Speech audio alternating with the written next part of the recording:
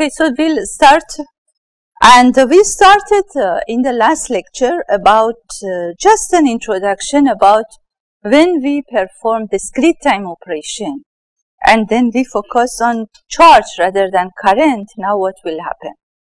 And what will happen for a resistor? Because resistor is not a is not an element with memory.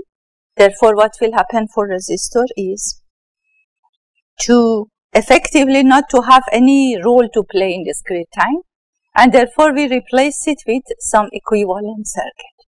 That equivalent circuit is, is a combination of switches and capacitors and that equivalent circuit will give you equivalent charge for each cycle of the clock. So that was the definition and in fact we briefly covered uh, this operation. Now just quickly again I repeat it. You assumed you have a capacitor which gets connected to a voltage V1, single ended voltage. And this capacitor also is connected between node corresponding to voltage V1 and ground. And in the second phase get discharged. So now we want to see that what is the effective charge which is stored on this capacitor every cycle. That is proportional to V1 and C so therefore, effectively we have the C V1 and V1 effectively is the samples of the input voltage at every clock cycle. In discrete time domain, unit of time measurement is the clock cycle. Therefore, for simplicity, we use integer n and n means n capital T. Capital T is the period of the clock. So, we measure the time with the units of T. So, now it's discrete. 1t, 2t, 3t. Sometimes also we talk about t by 2. So, but still our units are t by 2. So, it's a discretized unit. So, V in n means that the input voltage at the clock period of nt. So, nth clock period. And then we assume V in is almost constant during this cycle. And therefore, we know that the capacitor will have the charge stored on it as CV in N because the initial charge is 0. And if this charge eh, wants to be equivalent with average current, with the integration of the current drawn from a resistor during same time with the same voltage, naturally that becomes integral from 0 minus to t minus of V in N upon R equivalent. And by just making these two equal with each other, considering V in n is constant, of course, the dt is missed here, so dt will be here. So, this I will correct it. So, therefore, we will get the R equivalent is 1 upon C multiplied by T or 1 upon C divided by F. So, this is equivalent R and therefore, now we can replace resistors in an equivalent continuous time analog domain, switched capacitors in discrete time and have all functions that we have already implemented or realized in continuous time domain like for example RC filters or active RC filters, we can convert them to equivalent discrete time and that has a huge advantage. One of the important advantages of this transformation is resistors will get converted to 1 upon C. Therefore, RC becomes ratio of two capacitors. And in contrast to continuous time domain that RC will experience a huge variation, process variation, and therefore design of the filters will not be so straightforward. We have to consider control of the corner frequencies. Here, the ratio is almost constant. Of course, it's not 100% constant, but considering first order effect, if you have two capacitors of the same type and they have been laid out with respect to each other in a symmetric fashion, this ratio of these two capacitors will have a change with respect to voltage for example of the same percentage. So therefore that will help to keep the ratio constant and that is one of the reasons discrete time filters are of importance and in uh, many cases they actually are used. Of course, there is a price that we pay and that price is because now we are approximating continuous time with discrete time. So, we expect the frequency domain behavior or information to get distorted. First of all, we know that with non-ideal sampling, we have already learned that because of the convolution with sinc, or multiplication with sinc, we will get some distortion. This is the first effect. Now we will have also effects because of the approximation of resistor with this equivalent element and this transformation. So because another point is that when we talk about the discrete time processing, our frequent Nyquist rate will give us the sampling, an idea about the sampling rate. Ideally, if we are much above sampling uh, Nyquist rate, we will have much less distortion. And that is coming because of that sinc behavior. So similarly, we will see the same notion over here in discrete time domain when we want to have this conversion from continuous time to discrete time for realization of the circuits. See, one more thing also you notice is we, we don't need really always have a capacitor switch to input voltage and ground. We may switch the capacitor between some input voltage and another voltage. So, therefore, both are possible and in both cases scenario is same, nothing will change. The only difference is that the initial charge on the capacitor instead of to be 0 will be the for example V2 in the previous cycle. Therefore, the initial charge is V2 n minus 1 and the new voltage at phase phi 1 will be V1. Therefore, the capacitor charge will change by V1 n minus V2 minus n minus 1 into C.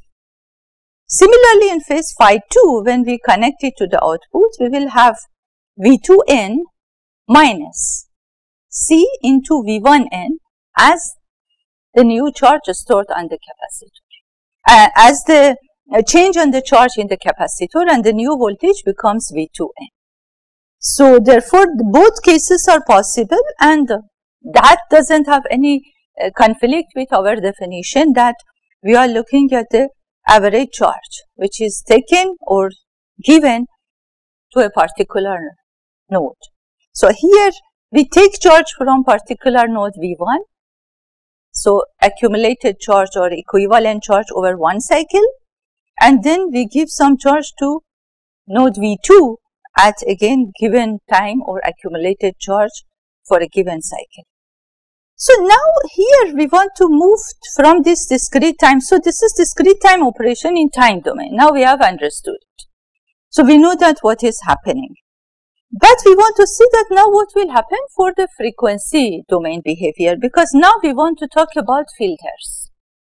So if I have a continuous time filter and I want to convert it to a discrete time filter, what will happen for the transfer function of the filter?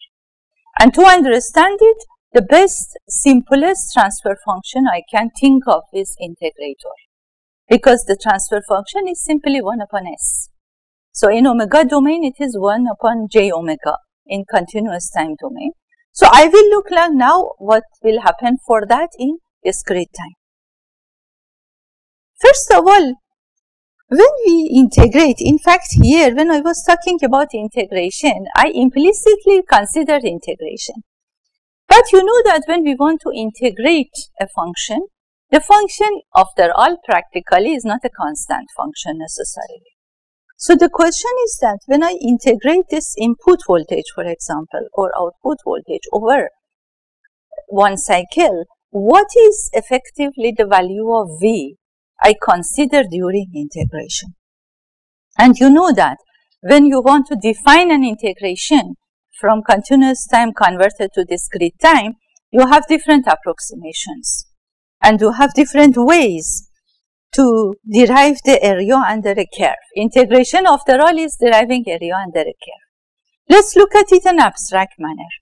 I have a function of x of t as a function of time and then I look at the discrete time samples over time axis and then I look at the value of input voltage. So this is actually what we are doing when we are doing sample this, track the signal, hold it on a storage capacitor. But the question is that suppose if I want to take integral of this x of t from n minus 1 into t to nt, means one clock cycle. So what value of x of t I should consider here? Should I consider x of n minus 1 the way it is shown here? And I consider, okay, so the value of x of t is approximated by value of n minus x at n minus 1. Should I consider x at nt, which is not shown over here?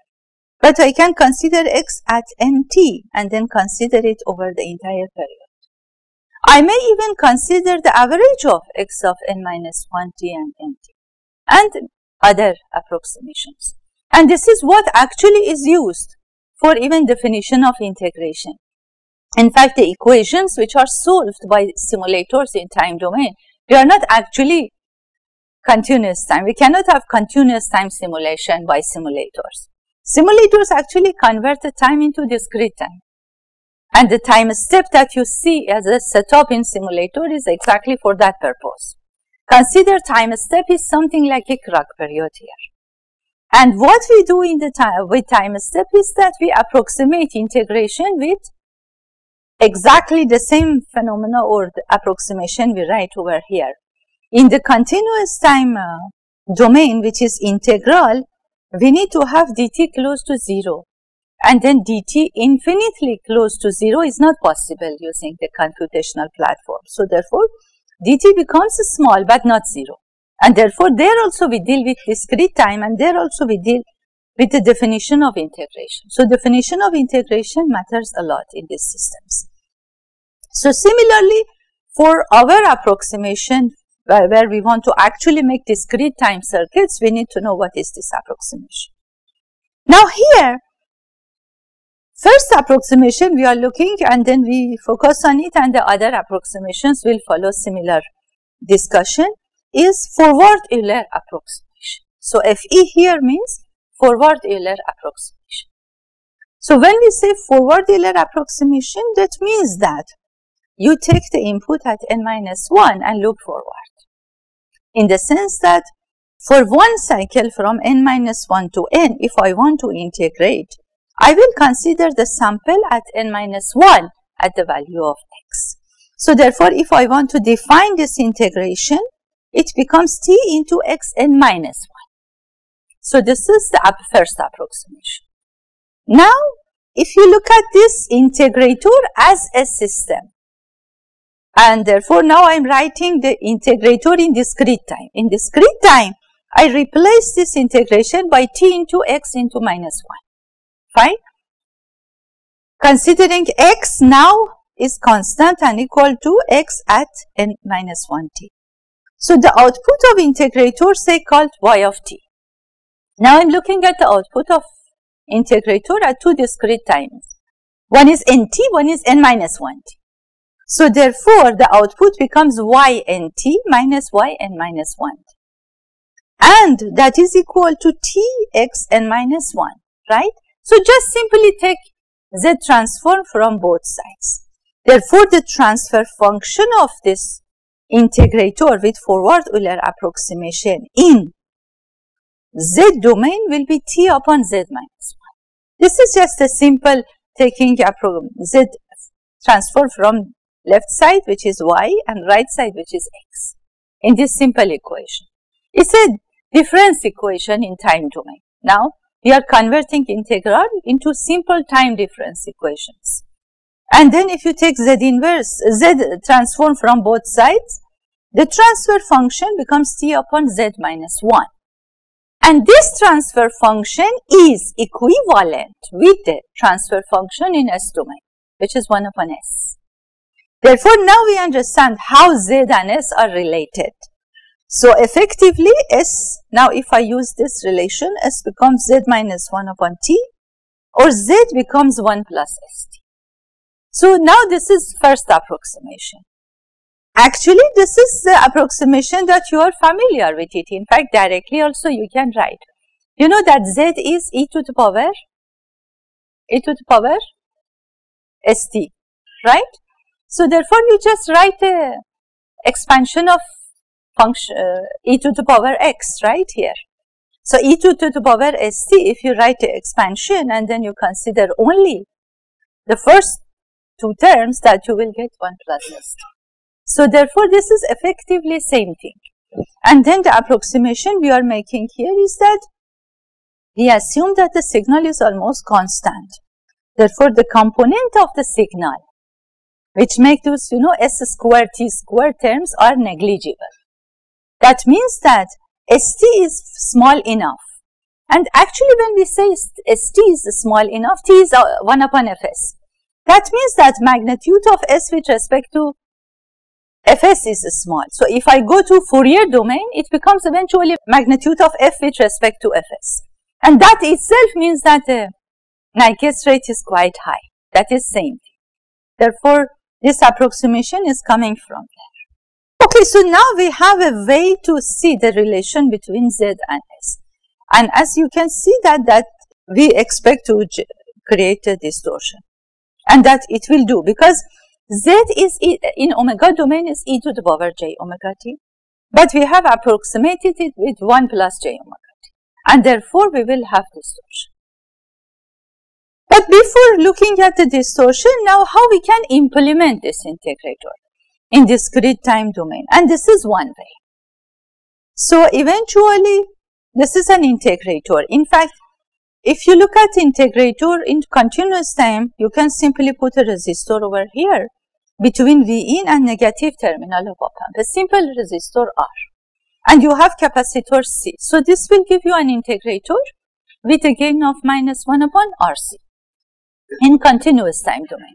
So now simply what we do is that we replace that resistor with a switched capacitor circuit.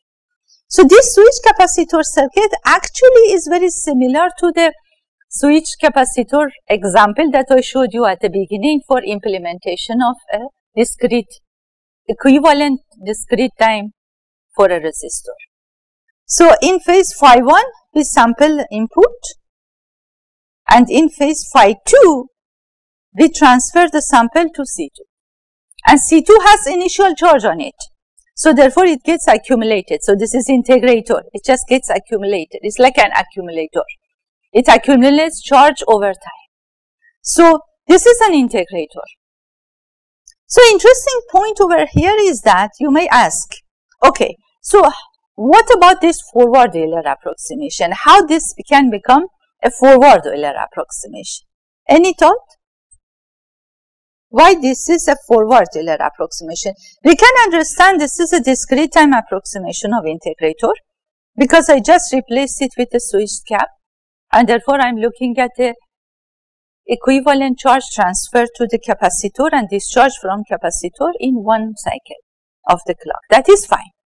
So I can understand. But why it is forward Euler?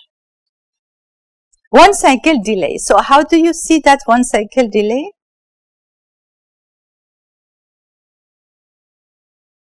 Let's assume phi 1, phi 2 half cycle delay. Okay, so let's put it in that way. If you actually assume switches are not ideal in practical scenario, it will take some time to charge capacitor C2. Practically, if you want to be uh, precise, the value of V out will settle at the end of phi 2. Right? Right before falling edge of phi 2, it will settle. If I consider phi 1 and phi 2, one phi 1, one phi 2 phases as the clock cycle. So therefore, practically at the end of first clock cycle, which is the beginning of next clock cycle, I have V out ready. So that means that the input that I sampled will be given at the output in the next cycle or will be ready for the in the next cycle for the next cycle. So I have one cycle delay. So therefore that is exactly the notion of this V in n minus 1. If I'm looking at V out at n and I'm sampling at n, the V out n will have settle value of V in n minus 1 on the capacitor. Right? Is that clear? So this is very interesting circuit. First of all, is relatively simple. You need only two capacitors and two switches. Of course, because of the charge injection issues, we have to uh, also see that if it has problem, convert it to bottom plate switching circuit. But in general, we take advantage of constant ratio of the gain of the integrator.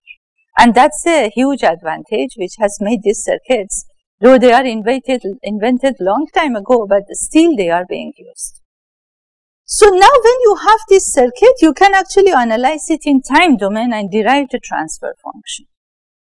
So when you want to analyze these circuits, always analyze them in two different phases. See, almost all switch capacitor circuits work in two phases because we need to track and we need to hold. So therefore, we need to take the charge, we need to transfer it and hold it somewhere else. So that's why always at least there are two phases, sometimes more than two. Specifically when we want to take care of charge injection, we have also phases which have a little delay with respect to each other, which switch we turn off first. We have discussed before.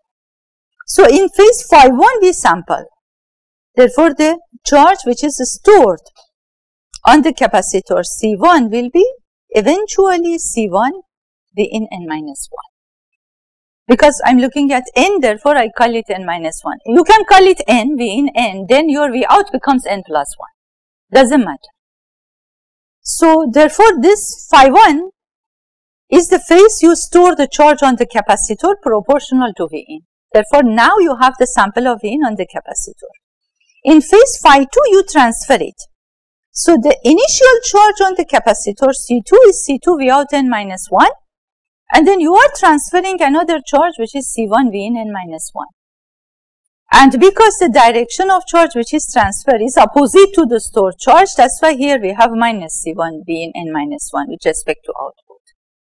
And that is, now I can say that this Q C2n, the new value is C2 V out n because I wait enough so that the voltage across C2 will settle by end of phi 2 Therefore, it's ready for phase of n, uh, clock cycle n. That's why I write V out n. End of phi 2 is the beginning of phi 1 in the next cycle. So, I can write it V out n.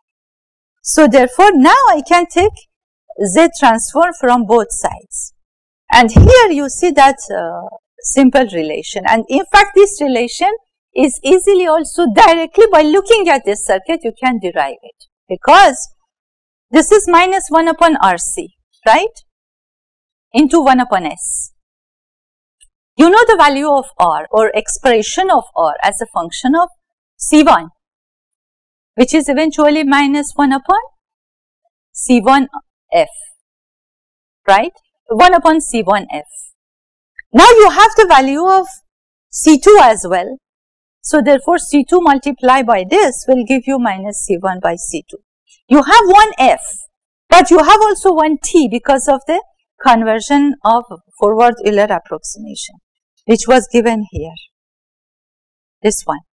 So, therefore, this T will, get, will cancel the F and therefore, you will get 1 upon Z minus 1 and if you multiply numerator denominator by Z inverse, you will get Z inverse upon 1 minus. This is actually 1 upon Z minus 1 that we derived it before. In Z domain, it is preferred to use Z inverse just because we have e to the power minus STS. That's why e to the power minus STS. So, and because Z is defined e to the power STS, that's why Z inverse is more common. Otherwise, this is actually 1 upon Z minus 1. Okay, so this is quite clear. So, in fact, I go back to this relation. See, this is our equivalent, which is T by C or 1 upon CFS. And C in the example we have is C1. So, therefore, you just replace 1 upon RC by R equal to 1 upon C1 F into F. And that will get multiplied by 1 upon S, 1 upon S is given from here which is T upon Z minus 1 and that's why that you will get this minus C1 by C2. So now look at the, the comparison between the two cases. In continuous time we have minus 1 upon RCS. In discrete time we have minus C1 by C2 into Z inverse upon 1 minus Z inverse. And that means that here the gain of the integrator, if we call 1 upon RC as gain of integrator, doesn't change with the process corners. In real applications in continuous time, R and C are even don't follow each other. For example, you may have corners when R and C both have their maximum value or both have their minimum value and therefore you will get huge variations. Variations of R and C can become something around 20%, which is significant. And in fact, in the best technologies. So that's why uh, making a continuous time RC implementation on the chip is not straightforward and more often it's avoided. Any question?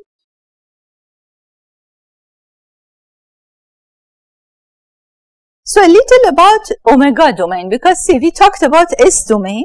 Let's see what happens in omega domain with this the forward Euler approximation. See this is the same transfer function I'm writing. See this minus C1 by C2 is the gain. So just it is written on the numerator and this is actually 1 upon Z minus 1. So therefore look at it as 1 upon Z minus 1 and z is e to the power st. s is j omega t. Capital omega is the omega in analog domain, analog continuous time domain. And capital omega multiplied by t is the small omega which is used in discrete time. It changes from 0 to 2 pi or minus pi to plus pi. So, if I uh, use the extension, so I will get this relation. So, this is showing the distortion I'm getting in omega domain. If you notice, if omega t is extremely small, that means that the we are well above Nyquist rate, much above Nyquist rate. I can approximate the denominator with j omega, which will give you the same ideal integrator function. But practically, these terms create error and distortion. So therefore, if I go with ideal case means when omega t, capital omega t is much less than 1, so that I can ignore second and third and further terms, then I will get the ideal transfer function of the integrator with equivalent resistance of t by c1. Sorry, this t should be in denominator. I correct it. This t is in denominator, not in numerator. Okay, and minus c1 by t is the equivalent minus 1 upon r. So I, I'll correct this, but so we will get the j omega 1 upon j omega. So we understand the conversion and the error that we get. So here I show other conversions also which are similarly derived. One is backward Euler approximation means that you take if you are talking about n minus 1 to n, you use x of n as the value of x for the cycle from n minus 1 to n. And therefore, you will get backward Euler approximation. In that case, relation between s and z will change in this way. Like for example, 1 upon s plus st becomes 1 upon 1 minus st, which are equivalent of each other when st is very small. So this is another way of approximation. And there is a third way of approximation which is very common which is called bilinear approximation. It needs more number of switches and capacitors, but it will give you, it uses this concept. We don't use x of nt, we don't use x of n minus t, we will use average of them. And therefore, we expect to get better approximation, which is true we will get better approximation. And here the relation between S and Z becomes a function of like Z minus 1 and Z plus 1 both, which was for the case forward and backward Euler approximations. Or similarly for Z, a as a function of S, is a combination of 1 plus St and 1 minus St. So therefore, it will, it's like a combination of the two and will give a better approximation for us. So let's see that actually what will happen when we convert. Now we are specifically talking about omega domain. See in forward Euler approximation, we have S equal to 1 upon T Z minus 1. So I So, or z is 1 plus st. So, if you look at z equal to 1 plus st, this is a line effectively, right? 1 plus st. So, this is z plane. So, omega d, d is for discrete. I usually use it to emphasize that we are talking about discrete time. Sometimes it is called digital, but here there is no digital. We are talking about discrete time. Values are analog. So, it's omega d sigma d. Let's talk about z domain. This is z, right? So now, this is the unit circle. And we know that unit circle is equivalent with s equal to 0, right? e to the power sts. And effectively, not just 0, effectively when magnitude of z is 1. Therefore, effectively it is e to the power sts, effectively it becomes e to the power j omega t. So, therefore, magnitude becomes 1. In fact, j omega in the real transformation without any approximation will map on a unit circle, right? Now, let us see with forward Euler approximation what will happen. How, wh what will be the curve on which this j omega axis will be mapped? If I replace s by j capital omega, so it becomes 1 plus j omega t. If I show that, that actually is this line, which is shown with dotted uh, style. So instead of having this circle, which is the correct way, now I have only this one. Means that I have a vertical line which is tangent to unit circle at sigma d equal to 1 and omega d equal to 0. So that means that this is the meaning of approximation. So therefore, I cannot deviate from this line too much, right? Because I cannot, I cannot deviate from this circle too much because then the approximation goes wrong. That is again equivalent with the same thing. If I cannot deviate, that means that I have to be in vicinity of 1. That means ST has to be very small, or here is omega t. That means again, Nyquist rate could, should be very high. That is the other way of looking at the distortion due to the uh, non-ideal sampling. So therefore, the only point where I get exact mapping is this point because this is on the unit circle and that is equivalent with sigma d equal to 1 which is equivalent with s equal to 0. In That means that if I have a DC signal, that's okay because whatever frequency I sample it, I will not have a problem. I will get exactly the baseband available later on. I will not have distortion. But other than that, we have to be close to them. So therefore, I cannot reduce sampling rate too much. Another point is that, which is actually is not good news for forward Euler approximation, is that if I look at the transformation from S to Z, we know that discrete time system is stable if poles are inside unit circle, right? Have you had the DSP and Z transform? Are you familiar with the properties of the transfer functions in Z domain? Is there anybody who doesn't know? Sure? Yes, you are familiar with Z transform? Okay. So now therefore, if I have a transform which transfer S outside the unit circle, that means that if I have poles which are on the left side of j omega, right, means that in omega, in continuous time domain, corresponding frequency, capital omega, they are on the left side of j omega. So fine, filter is stable. But here, I have to be very careful because here by this transformation, they may actually come outside unit. Therefore, this is very important. If you have a stable filter in continuous time domain and you use back forward Euler approximation to convert it to discrete time, you should be very careful. If your filter doesn't show peaking in discrete time, suddenly it starts showing peaking because now poles are moving close to, of course, if it is completely outside, then it is unstable. So we assume that we are taking care of that. So therefore, we have to be careful that if there is a pole which is close to j omega specifically, this pole may move actually outside unit circle in z domain. So therefore, we have to be careful about this. So therefore, in filter design, this is what is um, considered. In fact, uh, most of the filter design tools, because now there are well, I mean, uh, easily available online filter design tools.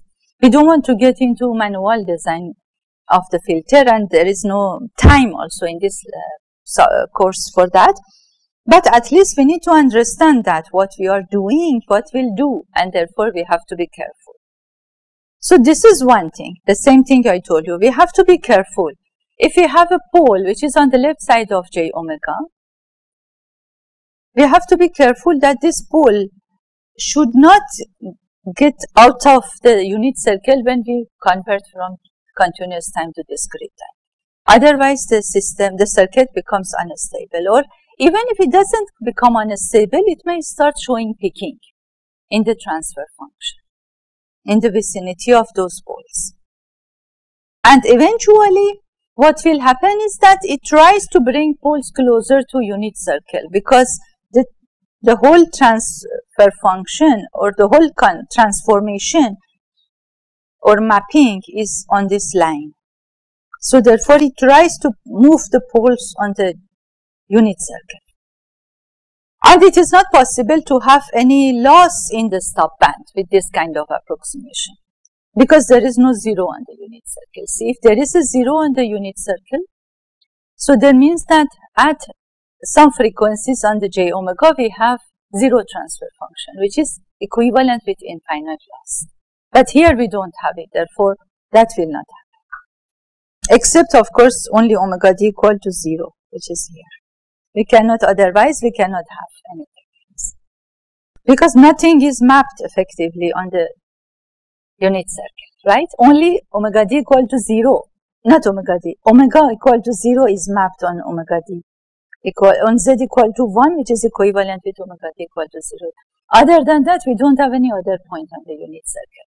So therefore that will not happen. So this is also important to understand. Like if I go with forward Euler approximation, I cannot have uh, infinite loss in the stop band. Some filters uh, have this property.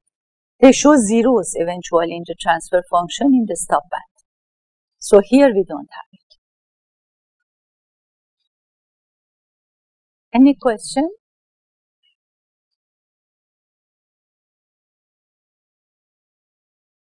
Okay, so this was one example. And then similarly, we will have the similar example for other two. So I don't write again the way it works, but see in backward Euler approximation, uh, so the relation between z and s is this. z is equal to 1 upon 1 minus st. So therefore, if you write a real and imaginary part of z, so you effectively like say for example u and v, you will get this as a, in form of a circle. There we had a line, this becomes a circle.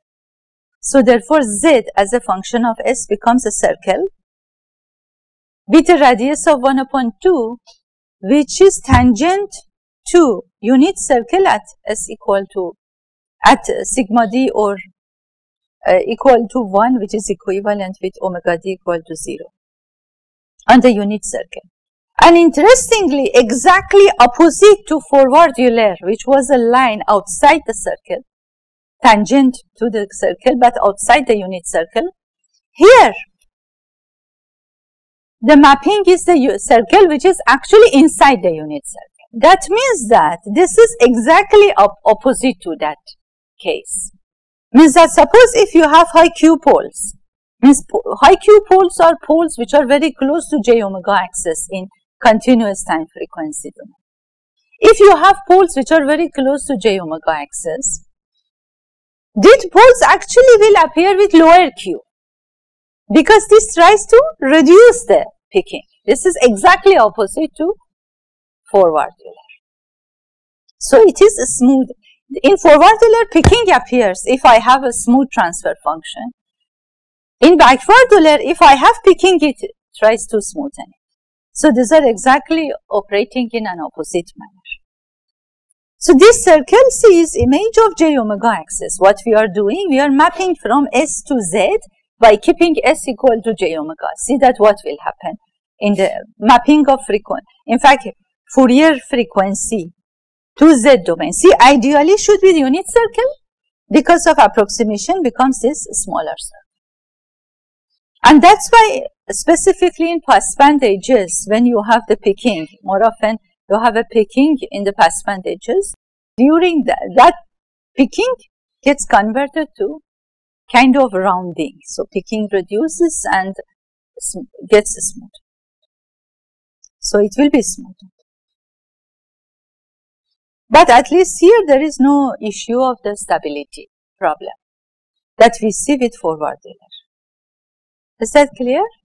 So therefore, if we have a stable filter in uh, continuous time domain, that will remain stable in discrete time domain if we realize using backward approximation.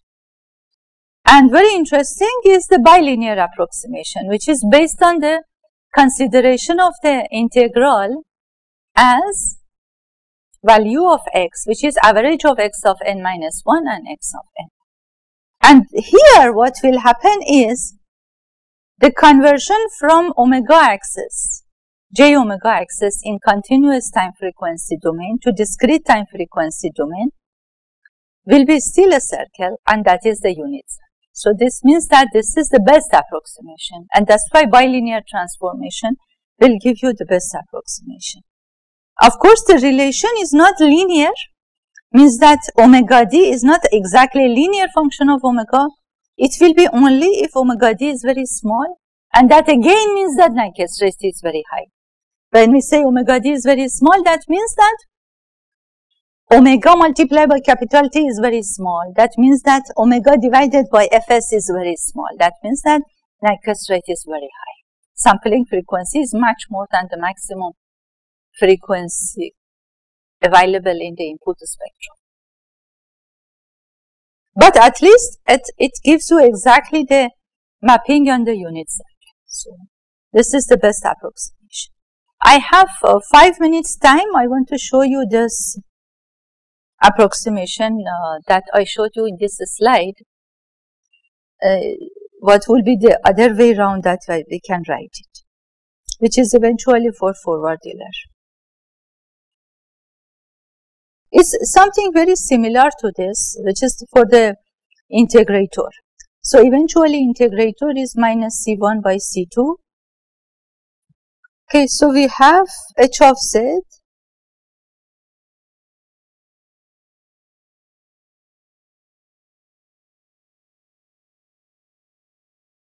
minus C1 by C2 Z minus 1. And z is e to the power j omega t. The way I showed you in the slide, I actually used the expansion of exponential function.